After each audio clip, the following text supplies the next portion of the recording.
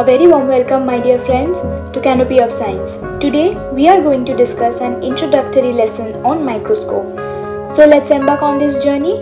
Happy learning! I hope all of you have seen a magnifying glass. Until the discovery of microscope, this magnifying glass was the only known instrument to be used to make a minute object look bigger.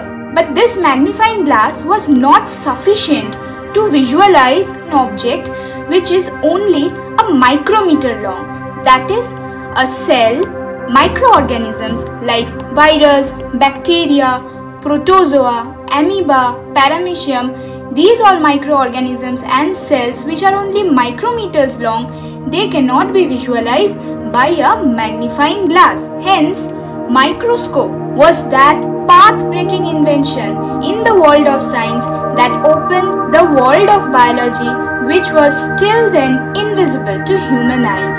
Thus, with the invention of microscope, successful studies and researches in the field of biology increases by several folds. Here comes the importance that why our knowledge will remain incomplete without studying microscope. So let's start with the definition of microscope. Microscope is a scientific instrument which helps us to see minute objects invisible to our naked eyes by magnifying the object by multiple times. So what does the microscope does? When we put any minute object like a cell or a microorganism under the microscope and fix the lens over it, that lens help to enlarge the image of that object by multiple times. So now that minute object which we couldn't see with our naked eyes becomes visible to our eyes. Now the question comes what are the different types of microscope?